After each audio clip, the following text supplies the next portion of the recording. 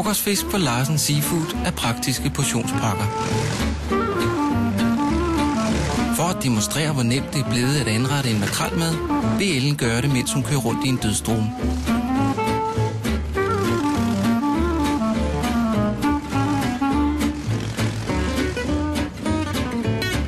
Frokostfisk. Perfekt til madpakken.